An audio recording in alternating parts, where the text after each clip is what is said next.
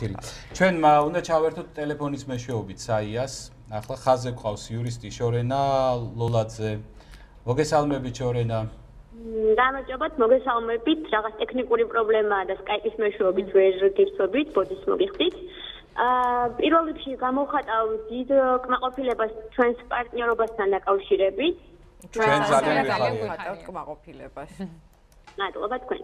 აა მოკლედ, როგორც თქვენ მოგვაწოდეთ ინფორმაცია, ამ კვირაში შემოსულია ორი მოქალაქის შეკითხვა და შევეცდები, რომ ორივე მოქალაქეს გავუწე კონკრეტული პასუხები.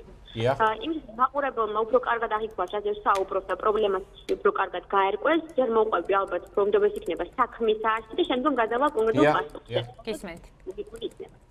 კარგი, პირველი შემთხვევა ეხებოდა კონკრეტულ ადამიანს, რომელიც თავის შვილს გაყვა სკოლის ექსკურსიაზე ერთ-ერთ რაიონში, სახმუზეუმში დასათვალიერებლად. და სამწუხაროდ სახმუზეუმის დათვალიერებისას ჩამოინგრა აივანი, რასაც შედეგად მოყვა რამდენიმე მშობალის მშობლის ჯანმრთელობის დაზიანება. კონკრეტულად რომელი მშობელი დაჭავშირდა თქვენ თქვენ გავიგეთ რომ მისი ჯანმრთელობის მდგომარეობა საკმაოდ მძიმეა კერძოდ მას დაუზიანდა ხერხემალი, ამ ეტაპზე არ შეუძლია მას მოძრაობა და მიეჭულია საწოლ.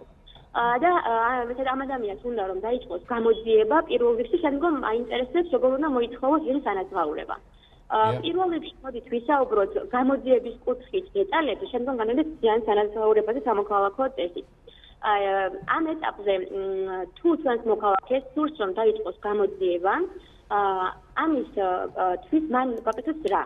უნდა მიმართოს იმ რაიონულ პროკურატურასა და გამოძიებო ორგანოს, სადაც მდებარეობს ეს კონკრეტული სახლ-მუზეუმი, ან მიმართოს საქართველოს მთავარ პროკურატურას, მიეწოდოს ინფორმაცია რა და როგორ მოხდა და მოსთხოვოს რომ დაიწყოს საქმის გამოძიება პროკურატურა. ეს არის პირველი მექანიზმი ამ შემთხვევაში ჩვენი მოქალაქის უფლების დასაცავად. ამის შემდგომ თუ არ რეაგირება არ მოყვება ამას, და საბოლოო ჯამში გარემოძიებო ორგანო ჩათვლის რომ კონკრეტული შემთხვევაში არ იკვეთება არავის დასაშაულის ნიშნები. შეუძლია იდაღოს ძენდგომ პროკურორთან და მან ამტკიცოს იმის შესახებ რომ რეალურად გარკვეულ შემთხვევაში ადგილი ქონდა უსაფრთხოების ზომების დაარღვევას და მოითხოვოს გამოძიების განახლება. სწორედ კითხვა ასევე მეორე მდგომარეობდა იმაში რომ დადარელებლად ცნობა უნდა და ამ ადამიანს საქმე თუმცა უნდა თავსახად განიმარტოს, რომ ფედერალებულად ცნობა საქმეში ვერ მოხდება მანამ სანამ არ დაიწყება სისამართლის საქმის გამოძიება. გამოძიების დაწყების შემდგომი ეტაპი ფედერალებულად ცნობა და ამ შემთხვევაში პროკურორმა უნდა მიიღოს დადგენილება ამის თაობაზე. ეს არის პირველი ეტაპი. თუმცა აქვე მინდა გავაცნო და განვიმარტო ჩვენს მოქალაქეს რომ რეალურად სისამართლის საქმის გამოძიება უშუალო კავშირის ჯენსელ ზიანის საქმისთან არ არის. ანუ ამაში თქმა უნდა მას შეუძლია სისამართლე საქმის გამოძიების და განაჩენის დადგენის გარეშე კი იდავოს სამოქალაქო ტექსტი და მოითხოვოს ზიანი განსხვავება. ახლა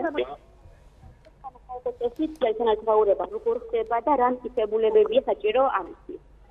პირველ რიგში თუ ვერ ხერხდება მხარესოლის მოლაპარაკება და შეთანხმება ამის თაობაზე, თემა მოქალაქემ უნდა შეიტანოს სასამართლოში სარჩელი აუცილებლად და მოითხოვოს ზიანის ანაზღაურება ალბათ.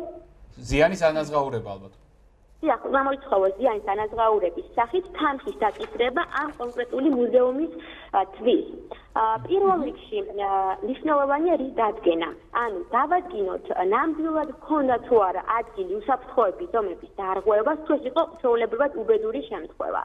იანის ანაზღაურება მხოლოდ მხოლოდ იმ შემთხვევაში მოუწევს ამ კონკრეტულ მუზეუმს და ფედერალურ იურიდიულ პირს თუ თავსაღად დაძინდება რომ მათ უმოქმედობას და უყურადღებობას მოხვა შეგუნებრივია აივნის ჩამონგრევა და შემდგომში უკვე ადამიანების დაზიანების დაზიანება.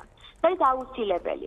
პლუს ამას უნდა დადგინდეს აუცილებლად რომ ადგილი ჰქონდა მიზობრივ კავშირს უშუალო შედეგს და მათ უმოქმედობას შორის. ეს ერთი და შემდგომში აუცილებლად გჭირდება ჩვენ იმის მტკიცებულება, მათ შორის სპეციალისტის დასკვნა, რაში გამოიხატებოდა უსაფრთხოების ნორმების დარღვევა. გასაგებია შორენა ჩვენ სულ რაღაც 30 წამი გვაქვს საინფორმაციო გამოშვებამდე. აა და მოკლე რეზუმე რო გავაკეთოთ, ან თუ კიდევ სათქმელი გაქვთ, გადავიტანოთ ეს ჩვენი საუბარი, იმიტომ რომ მე ვიცი მეორე თემაც აქვს. თქვენი მოვასწრებ, დავასრულებ. დიახ, დიახ. ანუ ამ შემთხვევაში გარდა ამ დასკვნის აუცილებლად დაფჭირდება ექსპერტის დასკვნა იმის თაობაზე, რა ხარჯები გაწია ამ ადამიანის დათხოვების მდგომარეობის და გაუმჯობესების კუთხით და შემდგომში რა თანხების გაწევა მოუწევს ხარჯების გაწევა მოუწევს მას კურნალობის დასასრულებლად. ამ იანის ანაზღაურებ ვალდებულება უკვე ექნება აუცილებლად ამ სახელმწიფო ადმინისტრაციას ზოგადად. გასაგებია.